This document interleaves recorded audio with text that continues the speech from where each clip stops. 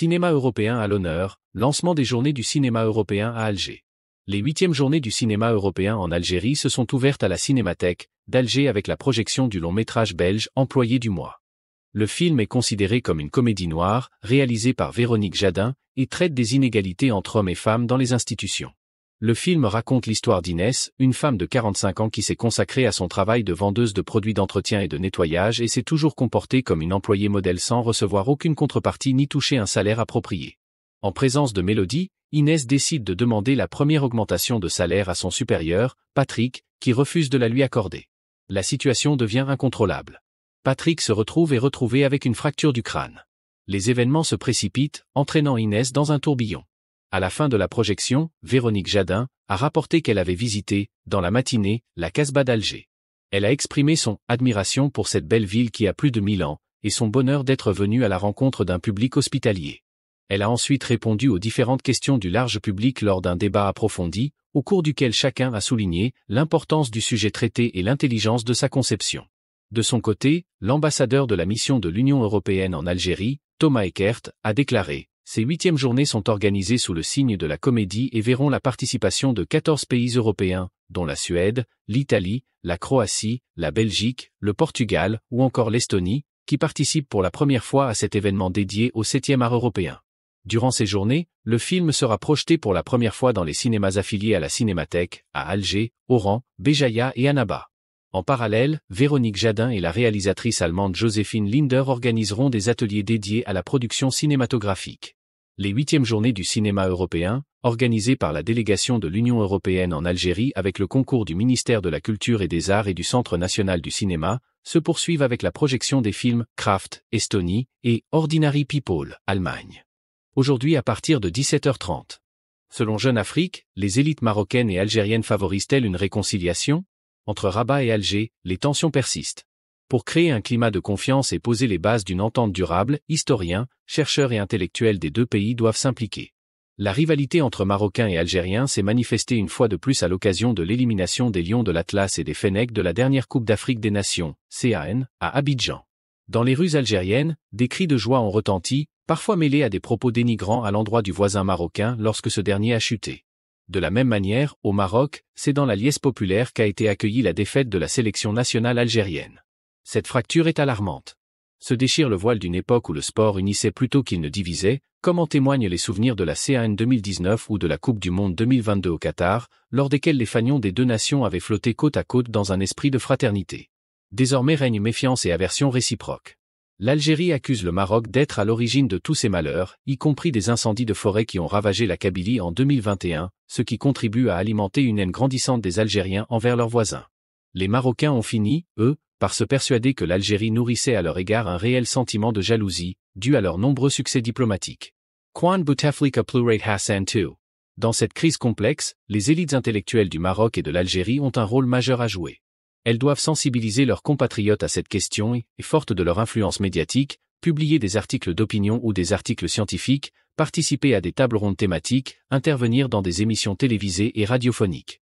Elles peuvent en outre utiliser les réseaux sociaux pour partager des réflexions perspicaces et éclairées, et ainsi contribuer à déconstruire les préjugés et les stéréotypes qui exacerbent les tensions, afin de promouvoir un dialogue constructif et une compréhension mutuelle.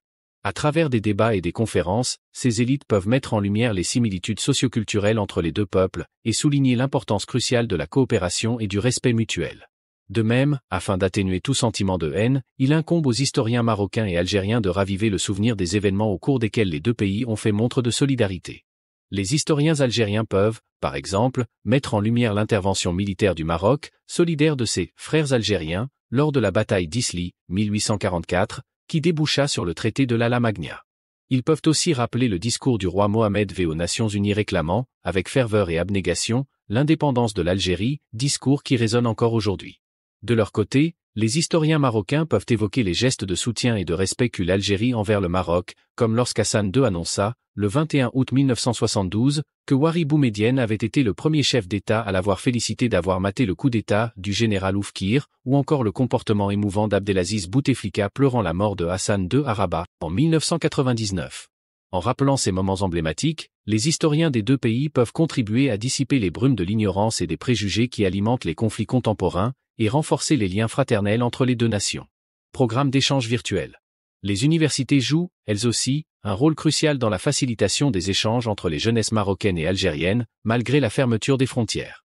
En mettant en œuvre des programmes d'échange virtuel, cours en ligne collaboratifs, webinaires, projets de recherche communs, ces établissements offrent une plateforme qui permet aux étudiants et aux chercheurs des deux pays de collaborer à distance. Cette collaboration favorise la compréhension mutuelle et encourage le dialogue interculturel, ce qui pose les fondements d'une coopération future et d'une réconciliation durable. Les instituts de recherche et les think tanks ont le potentiel d'enclencher un changement significatif en sensibilisant les jeunes générations aux enjeux régionaux. Par le biais de recherches approfondies, de l'organisation de débats dynamiques, de la publication de rapports pertinents ou de la création de plateformes interactives en ligne, ils leur offrent un véritable espace d'apprentissage et de dialogue. En collaborant étroitement avec les ONG et les associations de jeunesse, ils amplifient leur action en proposant des programmes de formation ciblés et en incitant les jeunes à s'engager activement dans la résolution des défis régionaux. Ces efforts concertés éveillent les consciences, stimulent la réflexion critique, et inspirent à la prochaine génération l'envie de construire un avenir maghrébin florissant.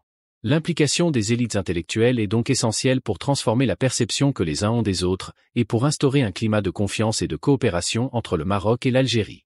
En unissant leurs forces pour abattre le mur de la méfiance, ces élites peuvent ouvrir la voie à un avenir radieux et prospère, où la fraternité triomphera de la division, et où les deux peuples avanceront main dans la main. La Turquie désignée invité spécial de la foire internationale d'Alger prévue pour fin juin prochain.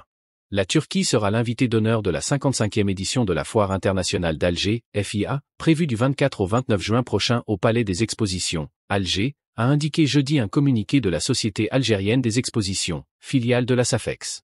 Ces dernières années, les relations algéro-turques ont enregistré une dynamique remarquable sur tous les plans, accentuée par le traité d'amitié et de coopération signé en 2006 entre les deux pays, note le communiqué, ajoutant que la Turquie sera l'invité d'honneur de la FIA pour la seconde fois après l'Égypte, l'Inde, la Russie, les États-Unis, l'Italie, le Cameroun, la Tunisie et le Portugal. La foire internationale d'Alger est un rendez-vous économique annuel abrité par l'Algérie en vue de faire connaître ses capacités productives nationales, mais aussi une occasion pour les opérateurs algériens et étrangers de développer les investissements et les échanges dans différents domaines. Cette édition, organisée sous le haut patronage du président de la République, M. Abdelmajid Tebboune, intervient à point nommé eu égard aux conditions économiques favorables à l'instar du cadre juridique, financier et logistique existant ainsi que les mesures et facilitations mises en place par l'État algérien dans le but d'encourager et de drainer des investissements nationaux et internationaux. La foire couvrira plusieurs secteurs stratégiques à l'image des industries agroalimentaires, électriques et électroménagères, mécaniques et manufacturières, outre le secteur tertiaire. Pour participer, les inscriptions se poursuivent encore via la plateforme numérique dédiée à cet effet, conclut le communiqué.